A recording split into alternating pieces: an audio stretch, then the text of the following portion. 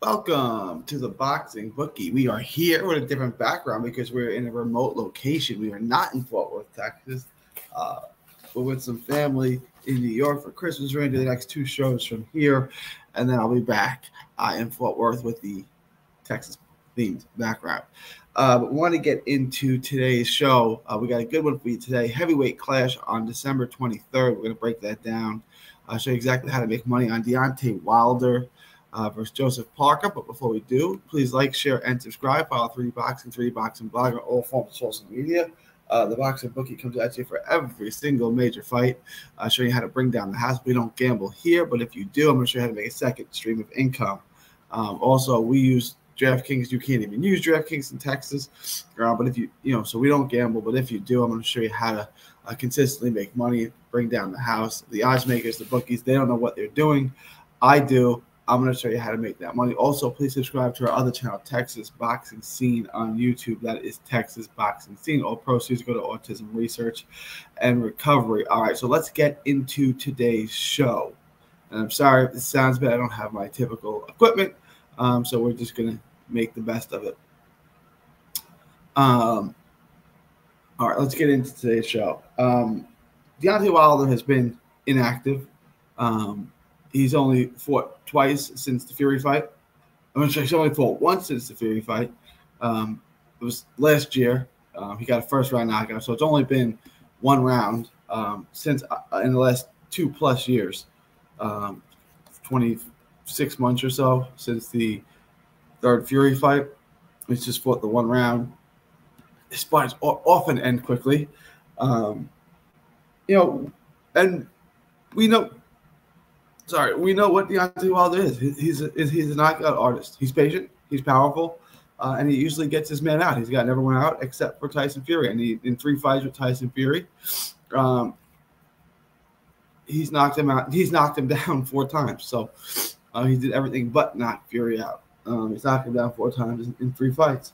Um, he's got outside of that, you know, besides the three Fury fights, his first before his three other fights, he's got a first round knockout, seventh round knockout against Ortiz, and a first round knockout against Helenius. So that's where we are with uh, Deontay Wilder.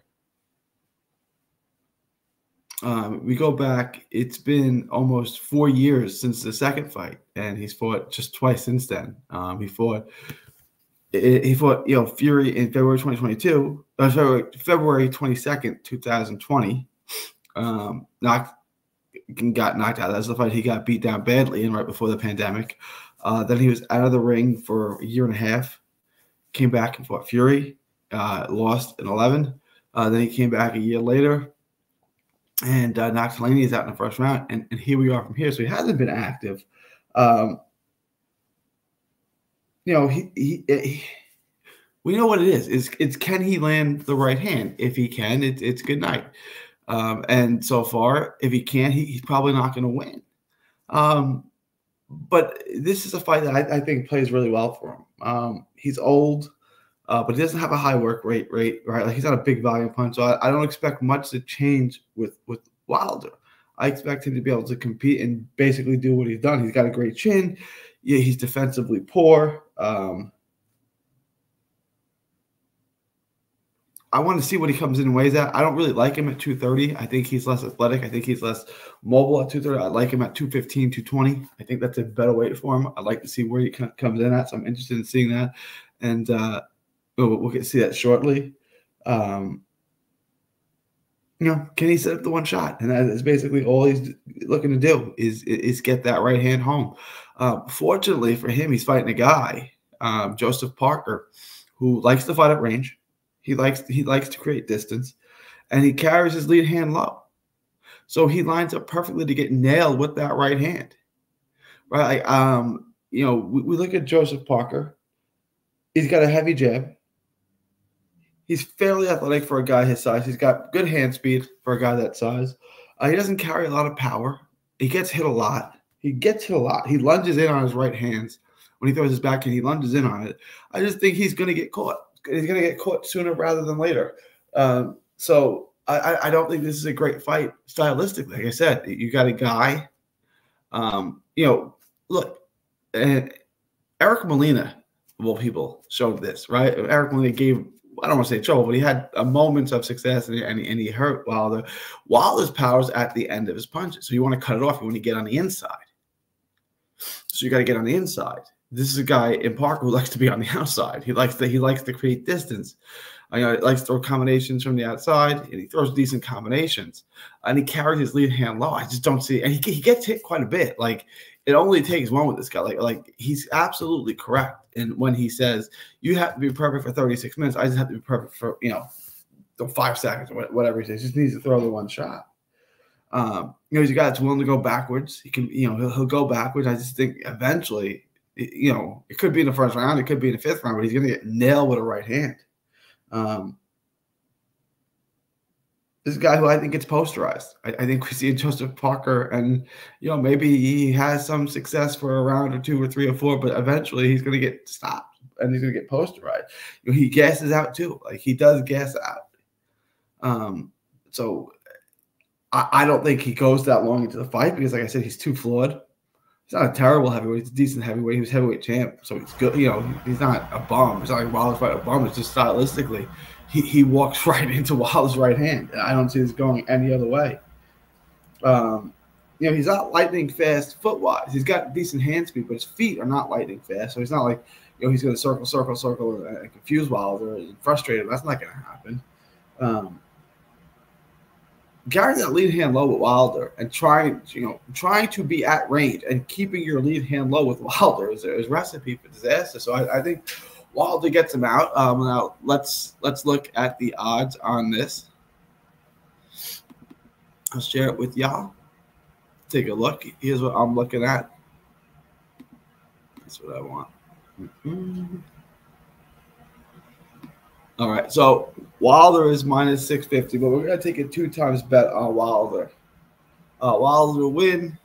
Uh, a $2 bet makes us $30.76. Wilder by KO on a one-time bet makes us twenty-five dollars. You can actually make that a two-time bet. I'm not. Uh, I'm gonna make, you know, uh, this is Wilder wins, uh, but he's certainly gonna win by knockout. I would think. So you can make that a two-time bet if you want. Um, would make you thirty dollars, uh, fifty-five dollars, and then to go under six and a half because I, I do think he'll, he'll knock him out within five much less six and a half. So that's going to make you 90, uh, 115, 25, 35, 45. So that's going to make you $145 on a $400 bet. So, you know, you bring these odds down, you know, you're getting about one to three odds about Wilder knocks him out within six rounds. You know, this is not a great bet. You know, it, it's not, but it is what it is. You know, I, I think everyone would agree with me that Wilder is going to knock him out.